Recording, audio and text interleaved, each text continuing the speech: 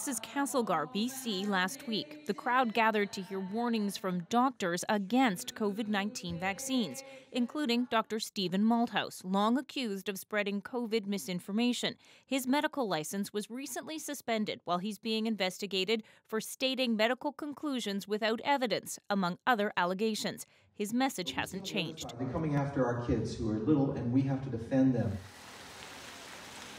CBC News followed the Doctors on Tour group earlier this year. Audiences heard Malthouse's allegations that the government and the media are misleading people and that COVID 19 vaccines are dangerous. Last month, the BC College of Physicians and Surgeons took the rare step of suspending Malthouse.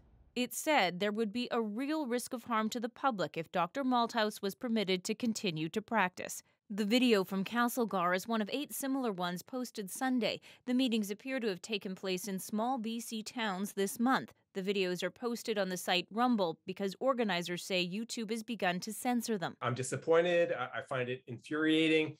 Uh, but I'm not surprised.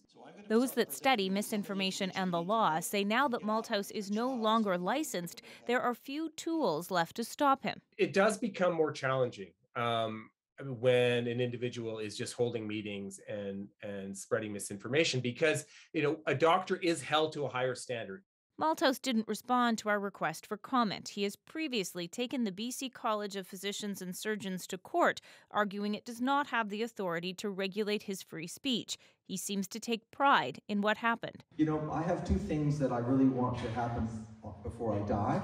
One is to get the largest stack of complaints at the College of Physicians and Surgeons in British Columbia.